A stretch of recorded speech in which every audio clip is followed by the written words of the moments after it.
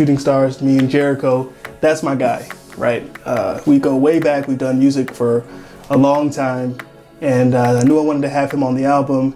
I knew once I started making the song, this is the song I gotta have with Jericho. Our voices blend so well together. Habit,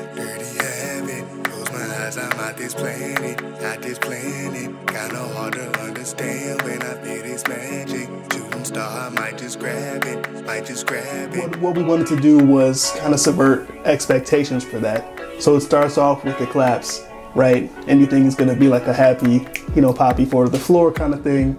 But then um, I make it halftime because it's got to be hip hop. So that's how you get Shooting Stars. It's a fun track.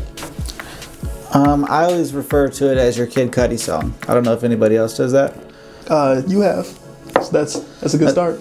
I, I- I'm the only one, I guess. But um, to me, it's just kind of like the the way that the beat kind of picks up with that that kick, kick, kick, kind of like, and then kind of gets into that theatrical. Yeah. To me, that's just very Kid Cudi, kind of your other channeling of the Ohio influence, maybe. Yeah, well, you know, I mean, I think especially around here, he's got to be the blueprint in terms of the ideas that I talked about on Shooting Stars. You know, even if even if it wasn't intentional, there's no way I wasn't thinking about it. You know, Let's uh, do a deep dive into the lyrics because you are on Genius.com I am genius.com. slash Jamil slash and slash the and.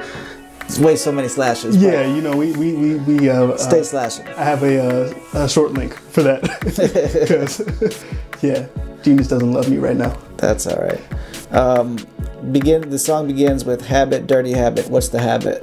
um, just going outside of your situation. You know, so for for me at least, it was daydreaming.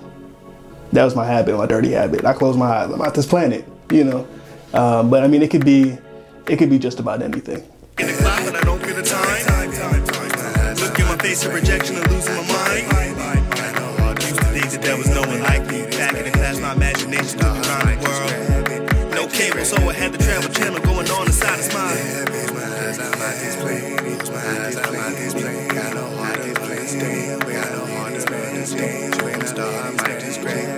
I just it, just it, just it. We lost our way.